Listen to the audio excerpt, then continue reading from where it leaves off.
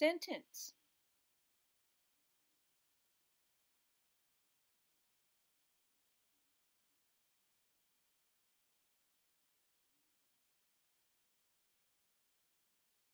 A sentence has a capital letter first.